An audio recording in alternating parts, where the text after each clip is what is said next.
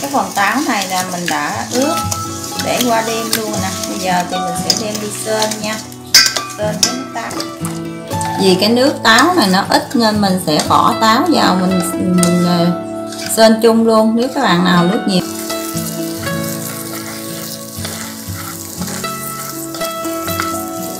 Có nắng mình đem đi phơi nắng nha. Mình phơi nắng ở đây á, khoảng là chừng 3 nắng là tái táo nó săn lại nó săn thiệt là săn nó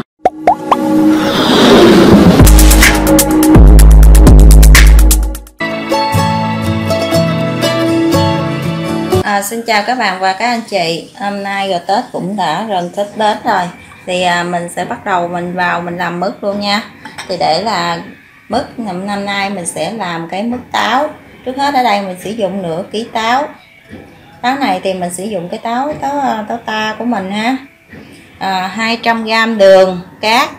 Ở đây mình sử dụng 30g cái à, dôi ăn trầu và 15g phèn chua thì trước hết cái cái phần à, dôi ăn trầu này á, các bạn, thì mình sẽ đi ngâm. Ngâm nước khoảng từ à, 1 đến 3 tiếng để khi mà cho mình lắng lại mình lấy cái nước trong của nước vôi nha. Rồi, cái phần táo này sau khi mình mua về, thì cái phần táo này các bạn thấy là như, có rất là nhiều cái à, mình sẽ thuốc thuốc phân thuốc vào trong đây thì mình sẽ ngâm qua với một ít nước chanh hoặc là nước muối để cho cái phân thuốc nó ra bớt ha. Ở đây thì mình ngâm cái cái nước chanh này từ 5 đến 10 phút để cho cái à, cái cái cái chất thuốc nó lội ra bỏ ra bớt nha các bạn. Rồi đối với cái táo này thì mình sẽ xiêm mình dùng cái quay trăm á mình xiêm cái, cái những cái lỗ này khi mà à, đặng mình ướp đường hay gì đó thì nó sẽ thấm hơn mình xiêm ít ít thôi, mình xiêm nhiều quá, nó bị thâm. Nó bị thâm đen á các bạn.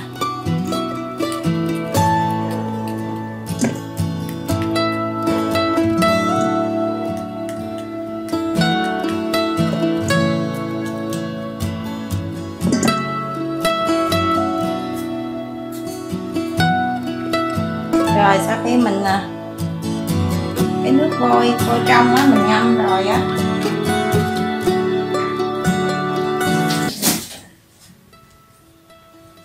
Ở đây thì mình đã ngâm cái nước vô trong rồi nè. Cái nước vô trong này mình đã ngâm sẵn rồi. Bây giờ thì mình sẽ cho cái nước vô trong này. Trong đây mình à, mình ngâm cái táo nha. Mình ngâm cái nước vô trong này trong vòng từ khoảng 2 đến 3 tiếng ha. Mình cho ngập luôn nha.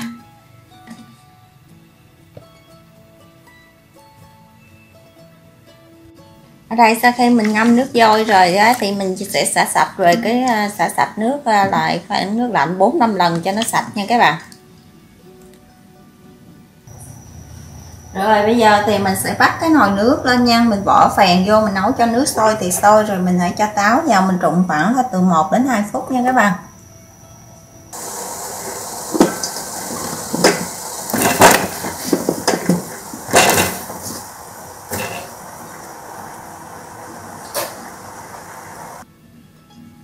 Rồi sau khi mình trụng mình ngâm cái nước lạnh đó các bạn có thể bỏ vô trong cái thau nước đá cho nó mau mau nguội nha.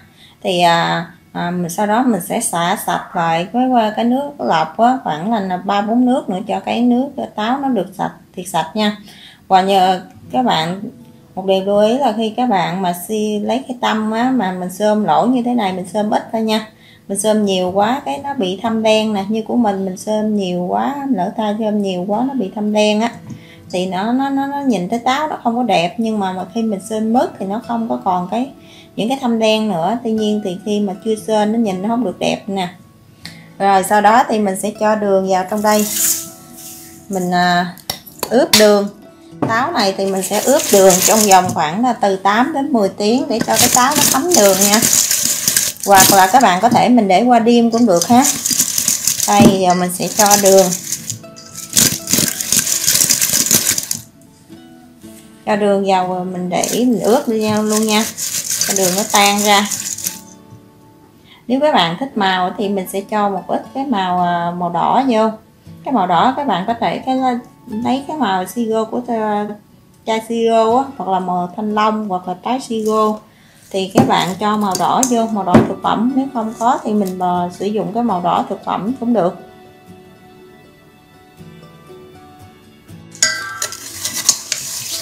Phần táo này là mình đã ướp để qua đêm luôn nè. Bây giờ thì mình sẽ đem đi sên nha.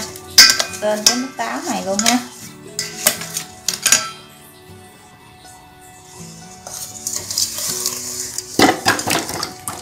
Vì cái nước táo này nó ít nên mình sẽ bỏ táo vào mình mình ờ, sên chung luôn. Nếu các bạn nào nước nhiều thì mình sẽ sên trước ha nước đường rồi, ở đây nếu các bạn nào thích cái màu xanh của táo hoặc là cái màu đỏ thì mình sẽ cho cái à, bây giờ có ngoài, có bán cái mà thực phẩm màu đỏ mà trong cái chai à, chai nhỏ nhỏ tinh dầu á các bạn. Thì mình sẽ lấy cái màu đỏ hoặc là các bạn có thể lấy là cái màu đỏ của thanh long á, mình cho vào, mình à, xay nhuyễn cho mình lấy cái nước mình cho vào. Thì táo nó sẽ có màu đỏ hoặc là màu xanh lá dứa. Các bạn có thể lấy cái màu xanh lá dứa á, mình cho vào trong đây đây mình sẽ cho đây là khoảng là 10 10 đến 2 20 ml lá dứa nha. Lá dứa mình xay ra nếu mình xài không hết thì mình có thể là mình bỏ ở trong cái à, cái à, nấu xong mình bỏ trong ngăn mát tủ lạnh đó mình giữ được rất là lâu. Giờ mình sẽ sên 5 phút đầu thì mình sẽ cho lửa sôi thì sôi, rồi từ từ đó mình giảm cái lửa lửa lại nha. Mình sẽ sên từ từ từ từ thôi, đừng cho đường nó rút vô tới táo á.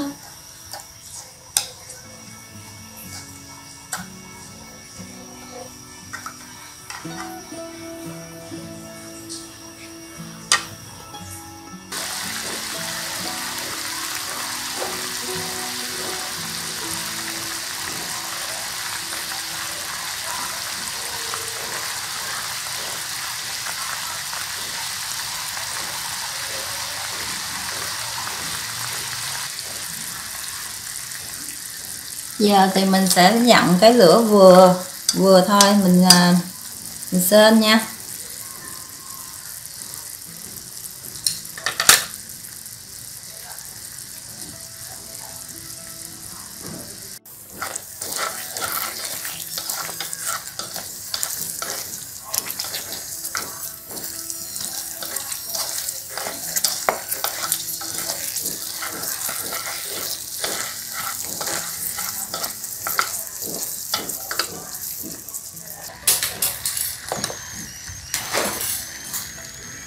Ở đây nên mình nên sên, nó còn nước sệt sệt nha các bạn. Nếu mà các bạn sên nữa thì hồi mình phơi nắng á, mình đem ra mình phơi nắng đó, nó sẽ bị lợi đường á.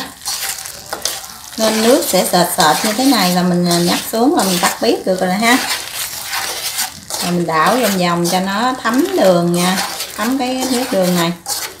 Rồi sau đó thì mình sẽ đem đi cái à, mình sẽ đem cái mứt táo này ra mình phơi nắng, hoặc là các bạn có thể sấy nha mình sấy khoảng là trong vòng 45 phút á, nếu phơi nắng thì nếu được nắng thì mà các bạn có thể là phơi trong vòng một nắng đến hai nắng thì cái cái cái táo này nó nó sẽ săn lại. Đó là mình để được lâu nè.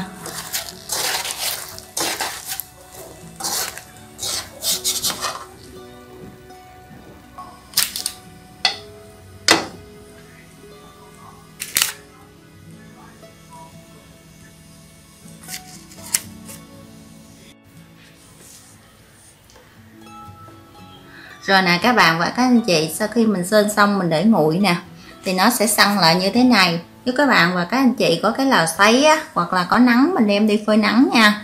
Mình phơi nắng ở đây á, khoảng là chừng 3 nắng là tái táo nó săn lại nó săn thiệt là săn nó khô lại nó khô chừng nào thì mình để càng lâu chừng đó nha. Còn cái này mình chưa có phơi nắng và mình cũng có chưa có sấy nữa. Rất là thơm cái mùi à, mùi táo á nó thơm cái mùi táo các bạn và các anh chị. Rồi, bây giờ thì mình đã làm xong cái mức táo ngày hôm nay. Còn bây giờ thì mình xin chào tạm biệt và các anh chị. Hẹn gặp lại các bạn và các anh chị trong những video tiếp theo của mình nhé. Xin chào và hẹn gặp lại.